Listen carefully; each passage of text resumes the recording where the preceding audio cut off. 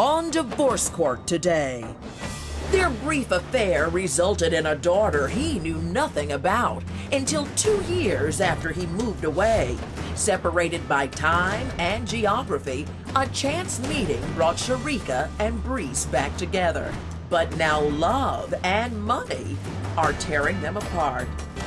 Shereka Honey and Breece Younger have brought their dispute for Judge Lynn Toler to resolve.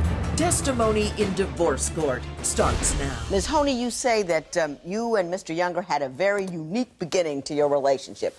Why don't you tell me about that? Um, well, Your Honor, I met Mr. Younger um, 10 and a half years ago. Um, his aunt lived on the same street as I did in Jersey.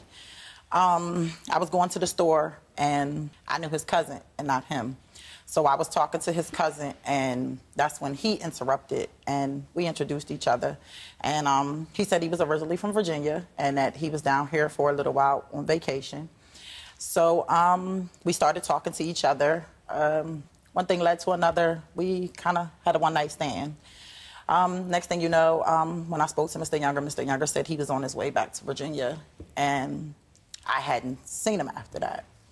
So um, maybe two and a half years later, um, I had my daughter, and I moved to Virginia for my mother. And when I moved to Your daughter with him? yes, So you got pregnant after the one Yes, night. You got to say that part. Yeah. Or else, or else the story is really confusing. so, so you had a one night yes, stand. I had a one night stand. You I got, pregnant. I found out I was pregnant maybe.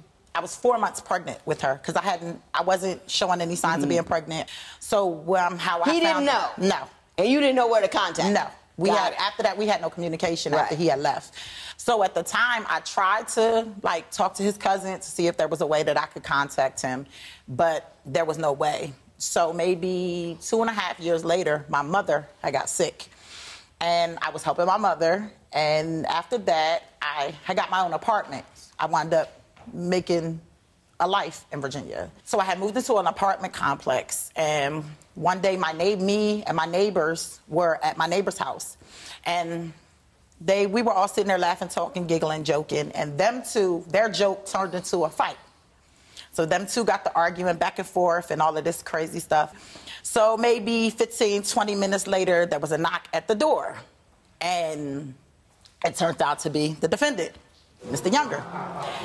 And it was like, that's the, that's how my face was when he came through the door. Wow. So that's when I um at first I sat there I didn't say anything to see if he would remember who Did I he was. recognize you? N- He kept saying to his cousin, um, she looks familiar. I know her from somewhere. And I was like, yeah, you you you do too. And that's when he I said, well, by the way, what is your name? And that's when he said his name. And I was like, you don't remember Sheridan? You, you don't remember Sheridan Street? And he was like, yeah, I my aunt lives on Sheridan Street in New Jersey. And I was like, yeah. Do you remember the girl that lived down the street from your aunt? And he was like, yeah. I was like, well, that was me. Because at the time, I had like gained a lot of weight from my daughter, my pregnancy with my daughter. So it was like, so then me and him, Let, we let- was, let me ask you this. I, just, I have to get to it. How did you break the news to him about the baby? the way I did it was like, um, there's somebody that would like to speak to you. Oh, that was just cold. So I was like, well, there's somebody that would like to speak to you. And he's looking at me kind of funny, so we go we go outside in the little hallway of the apartment complex, and I call my daughter. And my daughter walks up, and that's when I was like, um, he, as she's walking up, that's when he was like, uh, that little girl right there looks like my niece. And that's when I was like, well, she should, because that's your daughter. daughter. And he kind of like thought I was kind of joking. He was like, nah, I can't be. Nah, I can't be. So it was like when she came closer and he she picked he picked her up. He did everything but like literally turn her upside down to see if she mm-hmm. had a sticker that had his name Yeah, on the name bottom. it. So it What was were you like, looking for, Mr. Younger? I mean, you know, I was looking for special features, you know, birthmarks, which she had, you know. she has. She, we have the same birthmark. You know, I have like a, a hole. You know, some people are born with, you know, like a type of hole right here on the top of their ear. You Right, know, right, People right. ask, is it a piercing? No, it's a birthmark. She had the exact same birthmark. You know, she looked like me. She looked like my niece. Yeah. You know, so I was just looking to make sure. You know, I'm like, hold on. You know. So did you believe it right away? I mean, after you got, I mean, uh, it's a shock. I mean, no doubt Yeah, about yeah, it. When you looked yeah. at, did it, it, did it, did after a while you say, yeah, that's that's her? Did you really not believe it? I mean, you know, at first, you know, you can't really just go off believing things like that. You know? Sure. So, so you know, we actually went through the, you know, the progress and everything of having, you know, paternity tests and everything like that, and, and she was mine, Your Honor. So, um, She you know, I, like him. I said, hey, you know, I got a daughter. It's time to step up, you know, and take responsibility. You know, so so that's what I did. So, so in the in between the time that you had the DNA and you, how long was it between the time you had the DNA and you moved in together? Uh, I say we took the DNA like after we moved in together because like right after that, you know, we, we started kicking it, you know, So, how long were you kicking it before you decided to move in with her? about a month. A month. Yeah, about a month. Y'all don't believe in wait on, says- waiting on nothing, do you? Everything is, I want it now, I want it now. A month. Actually, actually, the only reason why I allowed it was for him to have a close relationship with his daughter. In the beginning, it wasn't about me and him. It was about having a relationship with his child because I have other children, Mm. and they don't have that father-daughter bonds as Mr. Younger and my my, my youngest daughter well, had. why was he? Why were you willing to move in with her? Well, at the time, you know, I, I was just, you know, dra- graduating high school. I really didn't, I, I didn't have another place where I stayed except for at my parents' house, you know, and I was like, hey, you know, if, if you want me to move in, you know, to be around my daughter, I'm okay with that. You know, it's fine with me. I, I'll move in. If it works out, you know, we'll stay together and, you know, cohabitate. Have you ever lived on your own? Yeah. Yeah. Own apartment that some woman wasn't paying for? Yeah, uh, we went we went through you know a time where we had actually broke up. Uh huh. And you know I got my own place, and you know it was a good amount of time um, that I actually stayed you know by myself. You know I paid my own rent. Nobody was paying that. You know. He may have been paying his rent, but he was still coming to me for help for everything else, cooking. Were you? Can you? Can I you? can't can you, say everything can you- else. She did bring- things that she wanted to do. Food? Can you know, know, she wanted to cook for me. She wanted me to Who come over. to She wanted me to stay in contact. So that's what I did. When someone says they did what they wanted to because that's what they wanted to do, Yeah. you know that they're doing it because they want you. Yeah. And you take advantage of that. No, I actually didn't take advantage of it, you know, but I accepted it, you know. You're taking advantage of it. You know how they feel. You know that they Yeah, I want knew you. how she felt. And you, I ex- how she you, you don't accept gifts from people who want more from you than you're willing to give. You don't do it. It, it Yeah. lacks dignity. It lacks class. It, Yeah. it lacks basic humanity. Next, how many times has Shereka taken Breece back after he has left for another woman? Your mama warned you not to marry your mate. If she was right and divorce is your best option, call toll free at 1 877 311 2222 or visit our website at divorcecourt.com. Become a fan at facebook.com slash divorcecourt. Divorce Court. Real relationships, raw emotion. Testimony continues now. How long did you two live together? We lived together um a year before we broke up the first time. well, first he time. broke up with me the Well, my first time. understanding is you guys break up on the regular. Oh yeah, we break up during his special days. What- what are his special the Springtime, summertime.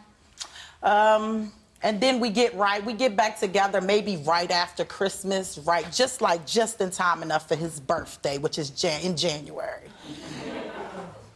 And then that's when let's be frank. It starts off as I'll call and my daughter will say, "Mom," she hadn't she hadn't seen him for a while. My daughter will say, "Mom, can you call my dad for me?" So I'll call him and be like, "Well, your daughter will like your daughter wants to see you," and he'll be like, "Okay, um, I'll come see her." Then it or then once we get together, he'll spend time with his daughter and everything, and then the next thing you know, that's when he'll say, "Okay, well, let's start off as friends." And see where the friendship goes and see if we can go back to building a relationship. Me, like I said, yeah, I was a fool because I cared about him. Yeah, okay. Mr. Younger, what is your version of how the rotating relationship Well, goes? you, you know, my version of it is, you know, uh, pretty much it was a lot of things that, that I couldn't actually take. You know, she felt like she wanted to control me. she didn't want to, you know, let me be an adult. I guess because she think that she had like a few years. Well, she does. Well, have yeah, a few years. yeah, she is 12 years We're 12 older than years him. apart. Yeah. Yes, we are. So, uh-huh. so I mean. So, what kind of things did you feel she was trying to control? Well, I mean, you know, she didn't really take, you know, me seriously. You know, things, certain things that I would bring to the table, you know, ideas, you know, great ideas. That Like I, what? Give me, give me, give me one. Hey, I said, you know, maybe we should go into business. You know, she she is a great cook. Me, I'm a great cook and also a businessman. So, I mean, hey, let's start up our own business. She never took it seriously. She would say, yeah, okay, I'm gonna do it. I'm fine with it. But then when it came down to it, she never really wanted to do it. You know, mm-hmm. reli- she wasn't reliable. It was just I was looking for someone who was more ambitious. So you would leave her her. because she wasn't sufficiently ambitious? No, no, that wasn't the reason. You know, it was a lot of other things. She has anger issues also. Let's talk about the anger issues. Okay, you know, she has a lot of anger issues. I mean, for instance, you know, I, I would go out sometimes, and you know, I'm an adult. You know, I'm allowed to go out, and if I just so happen, we're not married, we're cohabitating. But I mean, sometimes I would, you know, end up coming in a little late because I, I did a little drinking. You know, one time I went to a buddy's house. He had just came back from the military. It's probably around 2:30, 3 o'clock. And, you know, I come back home, and when I get back in the house, I turn on the lights. I'm like, whoa, she's sitting there like Madea in her rocking chair, waiting. Just waiting on Just waiting. Just She didn't have waiting. any grits on her, did she? Just wait. No, she didn't have no grits. Okay. I, am glad, you know. I you would know, like to. That day, I would I'm like glad she didn't have. have no grits, Your Honor. You know, but um, you know, she's sitting there, and it's almost like you know she was waiting to start an argument over something that simple instead of coming to me and asking me. Hey, what, how'd come you stayed out so late? yeah. There wasn't nothing simple. She never, this. she never asked. When divorce court continues, was Bree so desperate for money that he dated other women because they bought him things? Even though Shereka agrees that Reese tries to be a good father, do you think he can be a good role model for their daughter? Call 1 800 282 1991 to vote now and see if America agrees with your opinion. You'll also receive some valuable offers. If you would like your case heard on divorce court, call us toll free at 1 877 311 2222 or log on to our website at divorcecourt.com and join the conversation on Twitter at divorce court. Divorce court continues. Here's the part I want to get to. Both of you say that the other one has cheated on them, Yeah. correct? Now, why don't you tell me about the occasions or occasion, I don't know, Okay. that she cheated? Well, there was a time, you know, where we actually were staying over at my, one of my cousin's house. In the evening time, uh, me and her were sitting in the room, you know, talking, watching a movie. A guy that I know, he walks into the room. Like, he actually had been there, because, see, I had left. So he walks into the room, and he's like, oh, snap. So he pulls me to the side, and he like, yeah, you know, me and Shereka, you know, we had sex the other day. Yeah. He so didn't pull- he so didn't pull him to a so so I'm like, oh really? Hang on, did you get busted like that? No. For three, me and him had an argument. He left for three and a half days. He came back the, the, on the fourth day. To me, it was a setup. We were at the store. Him and the him and the guy kept were talking to each other, and then the next thing you know, we come out the store together, and the boy walks up to him and says, "Is that your girlfriend?" He goes, "Yeah." So I said, "Who is he?" He tries to play, oh, I don't know who he is. So I, I never paid it no mind.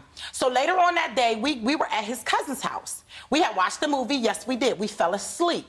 The next thing you know, it was like awful funny. He went out the room, because I can feel him when he climbed over me. He went out the room, quote unquote. Hold up, hold up, hold up. Climbed over you. Yeah, because the way we were in the bed, he was on. He was up against the wall. Who was in the bed? He was. Breece, Mr. Younger was. He was in the bed up against the wall, so he Uh-huh. climbed over me and got out the bed. So I never paid it no mind. I just turned over. The next thing you know, Mr. Younger comes and gets back in the bed, and then three seconds later, somebody's banging on the, knocking on the bedroom door. So I gets up, I opens up the bedroom door, and the next thing you know, it's the same guy that asked him if we were together Uh-huh. was like, oh yeah, you know, I messed with her, this, this, that, and the third. So they both standing. He's standing there laughing. Just like it's just But like had you ever messed me. with this guy? No, I didn't. I later found out Mr. Younger planned it so that he can go to Florida to be with the girl. That he ended up in Florida with, showing all of his pictures on the social media. Oh, this is my wife. How was that your wife after a week of being in Florida?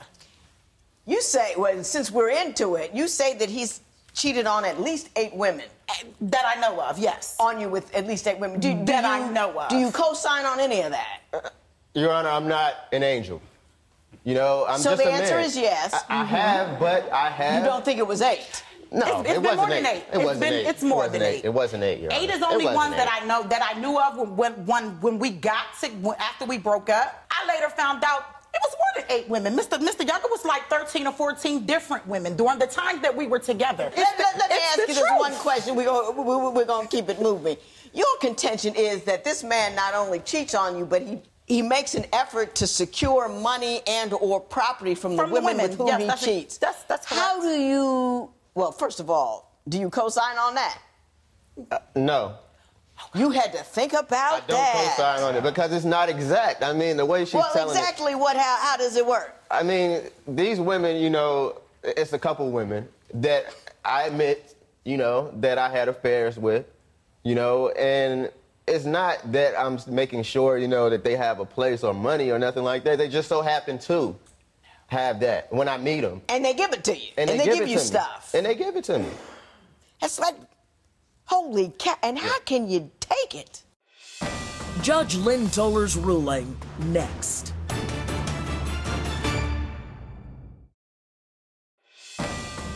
Divorce Court. Judge Lynn Toler's ruling right now. Mr. Young, women who, who take money from, you know, like have a young chick and this old dude, she's giving her money, she's a gold digger. It's just kind of tacky and wrong. How is that any different from what you're doing? You got you you got 20 seconds. All right. I mean, it's nothing different. And I mean, you know, she met me when I was about, when I was, I say I was about 19, 20 years old. Mm-hmm. I did things, you know, which I admitted to, but she feels like she has to hold the past against me. So I mm-hmm. felt, hey, And I understand youthful uh, ignorance and idiocy because I'm I was now, yeah. I, I, I was young once too. Yeah. I was 19, 20. You just don't get to skip to 56. You got to go through all of those. exactly. Yeah. And I never did anything like that. Well, I, I- never took anything that didn't belong to me. I never misused anybody's emotions or feelings. I never, I never cheated on anybody. I never did that. And I don't think youthful indiscretion uh, uh, makes up for or, or is a substitute for for moral degradation. Do you see what I'm saying? I understand what you're Everybody's young. I did stupid things. But but I had there were there was there was a rule of law, there was a bar, there was there were certain things I couldn't do, and I don't think that I was young and I was dumb gets it. I mean, I wasn't just a gigolo. And that's what he You wanted. know- and that, and I don't want to talk about it anymore. You people are making me crazy.